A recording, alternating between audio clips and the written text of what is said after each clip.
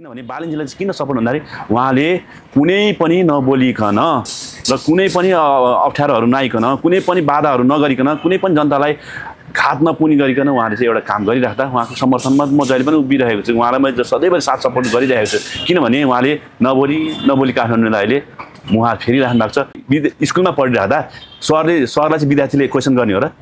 होइन नि?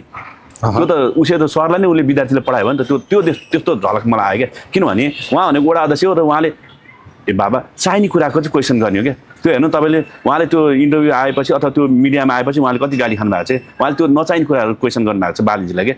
अनि तपाईँलाई त्यो औँठी पनि ल- लगाउनु भएको रहेछ कि? बालिन्जीले दिनुभएको क्या त्यो ए होइन यस्तो हुन्छ। औँठी त्यो भने उहाँको राम्रो काम गर्नुभएको छ। उहाँले मलाई किन औँठी दिनु पऱ्यो उहाँले त जनताको लागि त्यो औँठी होइन उहाँले त जनताको लागि धेरै राम्रो काम गर्नुभएको छ। त्यो सन्टुको मलाई यो औँठी उहाँले दिएको त्यो भनेर म त्यो होइन। पछि विकास चाहिँ चाहिन्छ है। अब चाहिँ हरेक जिल्लामा हरेक नगरपालिका हरेक गाउँपालिकामा चाहिँ विकास चाहिँ चाहिन्छ भन्ने कुरो चाहिँ अब सम्पूर्ण जनताले बुझिसक्नु भएको छ। अब राम्रो यदि यो नेताहरू जति पनि उठ्नु भएको छ अब पार्टीका नेताहरू उठ्नु भएको छ यदि उहाँले राम्रो विकास गर्नु भएन अब पनि तिन वर्षमा अझ तिन वर्ष छ अझ केही बिग्रेको छैन अझ पनि गर्नको लागि छ। तर गर्नु न उहाँले यदि गर्नु भएन भने चाहिँ अब पत्तासाप हुनेवाला छन् र राम्रो व्यक्तित्व आउनुपर्छ राम्रो व्यक्तित्वले जित्नुपर्छ राम्रो व्यक्तित्वले नै विकास गर्छ देशको लागि। त्यही।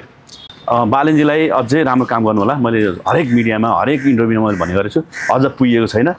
अझै गर्नु होला अझ तिन वर्ष बाँकी छ। यसलाई काठमाडौँलाई अझै काय पलट गरिदिनु होला उहाँले ल्याएका हरेक शिक्षा ऐन ऐनदेखि लिएर हजुरको बाटोघाटोकोदेखि लिएर हरेक विकासका मूलधाराहरू छन् सबै कुराहरू राम्रो छ। अझै उहाँले अझ गर्दै हुनुहुन्छ। हार्दिक निमन्त्रणा। यही श्रावण एक गतेदेखि बत्तीस गतेसम्म सञ्चालन हुन गइरहेको ऐतिहासिक श्री पशुपति कोटी होम एवं एक सय आठ श्रीमद भागवत विश्व कल्याण मासिक ज्ञान महायज्ञ दुई हजार एकासीमा सहभागी बनौ कथा श्रवण गरौँ र पुण्य कमाऊ। आयोजक मानव सेवा फाउन्डेसन नेपाल काठमाडौँ।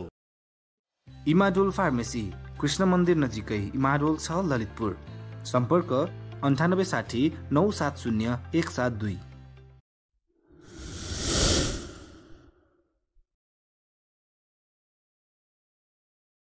नमस्कार दर्शकबिन आज हाम्रो सामु गायक विश्राम कार्की हुनुहुन्छ।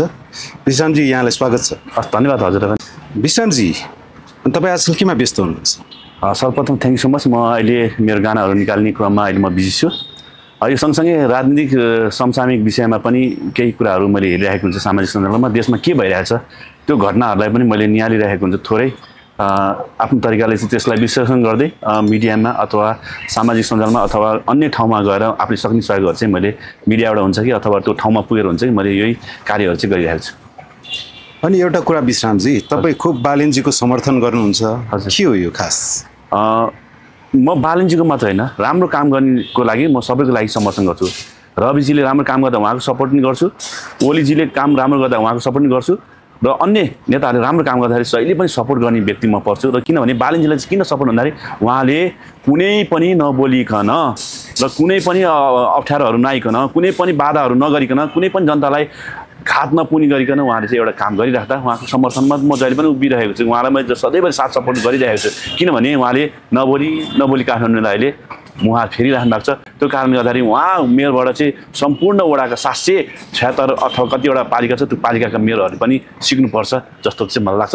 त्यो कारणले गर्दाखेरि हामीले यसरी म्यासेजहरू छोडिराख्दा चाहिँ अन्य जिल्लाहरू अन्य नगरपालिका अन्य वडाहरूमा चाहिँ विकास होस् भन्ने कारणले गर्दा चाहिँ बालनजीको चाहिँ एउटा जुन मैले गुणगान गाइरहेको छु उहाँले काम गरेको कारणले गर्दा चाहिँ मैले उहाँको गुणगान गाएको र उहाँलाई समर्थन गरेको र अहिले मात्रै होइन मैले शुल्क दिनदेखि अहिलेसम्म मैले उहाँको सपोर्ट गरिरहेको छु। अनि एउटा यो अहिले बालिनजीको यो हाम्रो न्यु रोडको काण्ड छ नि? हजुर हजुर। त्यो आइरहेछ त्यो वडा अध्यक्षसँग। तपाईँ के भन्नुहुन्छ? त्यो वडा यस्तो हो वडा अध्यक्षले जुन एउटा आफ्नो भनौँ न आफूभन्दा सिनियर व्यक्तिसँग चाहिँ कसरी प्रश्न गर्ने भन्ने कुरो चाहिँ उहाँलाई नम्बर वान त्यो थाहा रहन्छ। दोस्रो भनेको हामीले स्कुलमा पढिराख्दा सरले सरलाई चाहिँ विद्यार्थीले क्वेसन गर्ने हो र। होइन नि?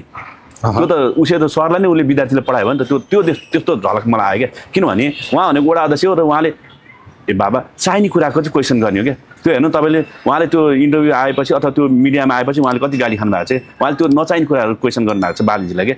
मेयरलाई आफ्नो एउटा अभिभावक हो नि त उहाँ उहाँ भनेको त्यो एउटा महानगरको नेतृत्व गरिरहनु भएको छ बत्तिसवटा वडाको भने उहाँले काम हरेक कामहरू गरिराख्दा त्यो फुटपाथमा त्यो हटाइएको चिजहरू त्यो राम्रो छ क्या? किन छ भने हो कतिलाई असर पऱ्यो होला त्यो दीर्घकालीन असर पऱ्यो होला त आफ्नो आउँछ तर त्यो त्यो भनेको त सधैँभरिको लागि हो नि त। हेर्नुहोस् यहाँ तपाईँले अब अर्को चुनाव भएर अर्को मेरो आयो भने त्यो फेरि व्यवहारसी नै हुन्छ हेर्दै जान्छु यो चाहिँ। त्यो एउटा तपाईँ फुटपाथबाट हटाउनु भनेको एकदम राम्रो हो क्या सर? किनभने हजुरको हामीलाई हिँड्न सहज भएको छ पार्किङ गरेपछि तपाईँको आवाजावतमा चाहिँ त्यो कठिनाइ थियो पहिला। अहिले त्यो कठिनाइहरू छैन। त्यहाँ हिँड्नको लागि एकदमै तपाईँको आनन्दले आफ्नो तरिकाले हिँड्न पाइन्छ। त्यहाँ लुटपाटहरू हुन्थ्यो त्यो कम भएको छ। त्यो घटनाहरू घट्थ्यो होइन? तपाईँको सर सडक दुर् दुर्घटना पनि कति भएको थियो पहिला? मेरो आफ्नै बाइक पनि कतिचोटि ठोकिएको थियो क्या त्यहाँ। त्यो तपाईँको दुईतिर त्यो बाइकहरू पार्किङ गरेको कारणले गर्दाखेरि। भनेपछि अहिले त्यहाँ हिँड्नको लागि एकदम सजिलो छ। त्यही भएर मैले राम्रो काम गर्नको लागि यो त्यो यो नेता त्यो नेता त्यो फलानु मेरो यो फलानु मेल भन्ने हुँदैन। मैले राम्रो काम गर्नको लागि सधैँभरि साथ सपोर्ट चाहिँ गरेको छु। तपाईँले बालनजीको धेरै सपोर्ट गर्नुहुँदो रहेछ। अनि तपाईँलाई त्यो औँठी पनि ल- लगाउनु भएको रहेछ कि? बालनजीले दिनुभएको क्या त्यो ए होइन यस्तो हुन्छ। औँठी त्यो भने उहाँको राम्रो काम गर्नु भएको छ। उहाँले त मलाई किन औँठी दिनु पऱ्यो उहाँले त जनताको लागि चाहिँ औँठी होइन उहाँले त जनताको लागि धेरै राम्रो काम गर्नु भएको छ। त्यो सन्तुल मलाई यो औँठी उहाँले दिएको त्यो भनेर म त्यो होइन। त्यसको यो औँठी दियो यो दियो भनेर हामीले बोलेको त्यो होइन। तर मैले यो आफ्नो एउटा दुःख गरेर मिहिनेत गरेर कमाएको हो। र मैले उहाँ बालनजीलाई हर्क साम्पाङदेखि लिएर गोपी हमाल उहाँ धनगढीको मेयर हुनुहुन्छ। अन्य जिल्लामा पनि दुई चारवटा मेयरहरू राम्रो हुन्छ तर उहाँहरूको राम्रो काम गरिरहेको त उहाँहरूको म सपोर्ट गरेको छु। बालनजीलाई चाहिँ मैले किन सपोर्ट गरेँ भने उहाँले प्रत्यक्ष रूपमा चाहिँ तपाईँको एकदमै राम्रो काम गर्नुभएको सबैले देख्नु भएको छ। मैले मात्रै मैले गुणगान गाएको होइन नि त। यहाँ त आज लाखौँ करोडौँ जनताले उहाँको समर्थन गर्नुभएको छ। उहाँलाई चाहिँ विकासको एकदमै मूल फुटाउने व्यक्तित्व भनेर चिन्नु भएको छ। आज काठमाडौँको यस्तो फोहोर काठमाडौँलाई चाहिँ एउटा अहिले सफा काठमाडौँ बनाउनु भएको छ। एउटा तपाईँको पराको खोलहरू देखिँदैन अहिले। पहिला कति तपाईँले सडकमा पिसा फेरि तपाईँको यो उसमा जानुहुन्छ भने हजुरको यो जमलदेखि हजुरको केशर महलसम्म जानुहुन्छ भने त्यहाँ। त्यो हजुरको वालमा पिसाब गर्नुहुन्थ्यो। दिशा हुन्थ्यो त्यहाँ। त्यो भिडियोहरू मैले कति कैद गरेको छु क्या मैले आफैले भनेपछि त्यो पहिला पनि त्यही सरकारले अथवा यही नेताहरूले चलाएको देश थियो। यही काठमाडौँ थियो। कति मेयरहरू भए काठमाडौँमा। अहिले बालनजी आउँदा कति चेन्ज भएको छ हामीले त्यो कुराहरूलाई चाहिँ त्यो चेन्ज भएको कुराहरूलाई चाहिँ मूल्याङ्कन गरेर चाहिँ उहाँको विश्लेषण गरेर उहाँलाई चाहिँ हामी समर्थन गर्ने कि? राम्रो काम गर्ने चाहे कलाकारले समर्थन गरेको विषयमा होस् चाहे तपाईँको राजनीतिक दलहरूको होस् चाहे जनताहरू होस् राजनीतिक दलले त उहाँलाई समर्थन गरेका छैनन्। जनताले समर्थन गर्नुभएको छ त्यही हो। अनि विश्रामजी तपाईँ काभ्रे पलाञ्चोक जिल्लाको बने अनि यता बालनजीलाई सपोर्ट गर्नुभएको छ। तपाईँको जिल्लामा पनि यस्तै एउटा मेयर भइदिए हुन्थ्यो जस्तो लाग्दैन तपाईँलाई? एकदम। किन? मैले त भने मात्रै होइन। सतहत्तर यो हजुरको सतहत्तर जिल्लाका जति पनि गाउँपालिका मेयर महानगर मा नगरपालिका छन् नि गाउँपालिका छन् सबै ठाउँमा राम्रो प्रतिनिधिले चाहिँ जित्नुपर्छ अब।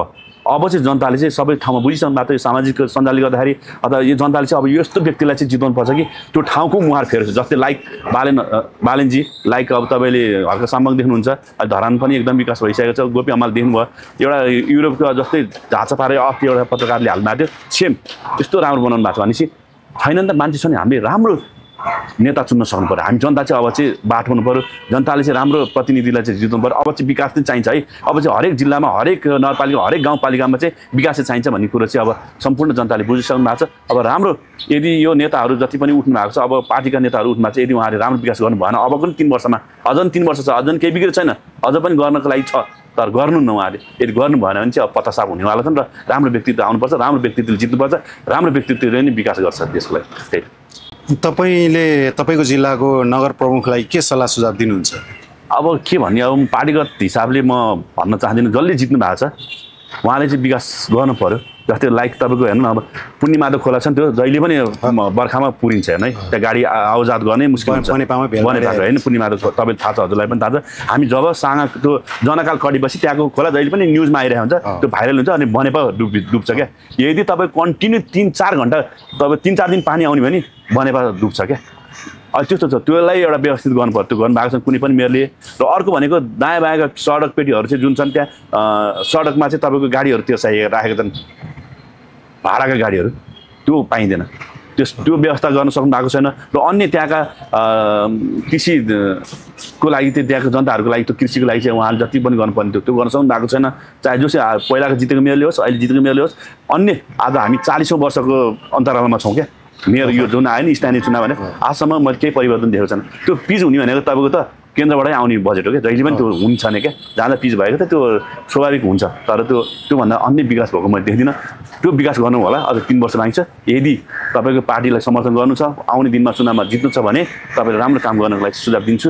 अन्य जिल्लाको लागि दिन्छु उहाँको लागि दिन्छु। बनेपा होस् अथवा सतहत्तर जिल्लाको लागि म सुझाव दिन चाहन्छु। एउटा बाटो मात्रै पिच गरेर ए एक दुईवटा बजेट हाल्दैमा त्यो विकास हुँदैन।